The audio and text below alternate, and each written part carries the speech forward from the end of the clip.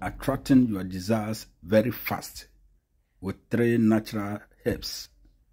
One is called rosemary, the other one is lavender, as well as sage leaves.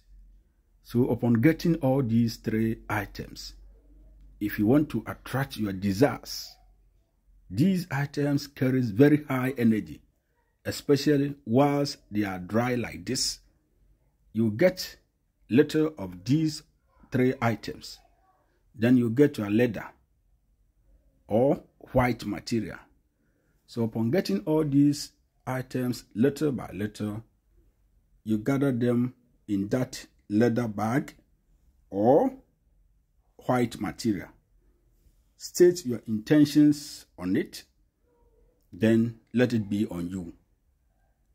The combinations of these things attract good things to you always. So having this talisman on you or charm on you, naturally, it is going to draw good things to you. So you keep it clean. You don't have sex and go and hold it. Being positive about it, holding it, then stating your intentions each morning will activate it more and more. And you can put it in your purse, your wallet, or your bag. And always you will see the goodness of God following you left, right, back, and front. That is power of nature.